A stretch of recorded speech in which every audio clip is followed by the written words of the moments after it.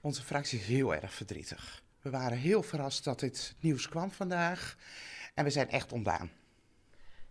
Ik kan me voorstellen dat u als raad ook wel iets meer uh, weet van wat er in dit huis speelt. Maar voor u was het dus echt een verrassing.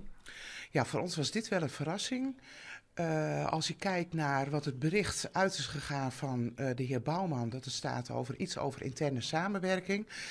Uh, dat roept bij ons wel iets op. Wij hebben al langere tijd, eigenlijk vanaf het begin dat we hier in de raad zitten, wat een nagevoel over hoe is onze democratie en besluitvorming uh, ingericht. En we merkten aan onze burgemeester in de rol van raadsvoorzitter dat hij hier en daar toch kritisch was naar ons toe van hé, hey, wat doen jullie allemaal?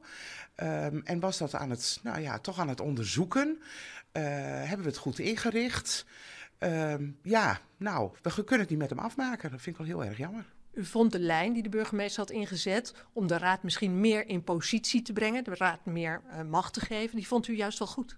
Ja, dat vond ik eigenlijk wel heel goed, want uiteindelijk is de raad het hoogste orgaan van deze gemeente. Wij besturen, de wethouders voeren uit en de ambtenaren die horen te bedenken hoe moet die uitvoering er dan uitzien.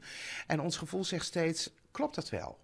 Nou, we hopen dat er een onderzoek gaat plaatsvinden, want hij zegt iets over bestuur, verschil van bestuurlijk inzicht. Um, iemand kan toch niet zomaar vertrekken zonder dat daar een onderzoek op plaatsvindt, dus wij hopen dat dat wel gaat gebeuren. U pleit dus voor een onderzoek en ondertussen zegt u... het is een gemis voor de Noordoostpolder dat deze man weggaat.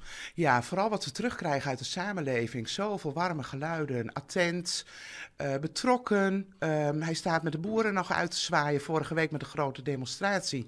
Maar je hoort het ook terug als mensen uh, iets ergs is overkomen. Uh, de warme persoonlijkheid, dat vinden wij echt een groot gemis voor onze gemeente.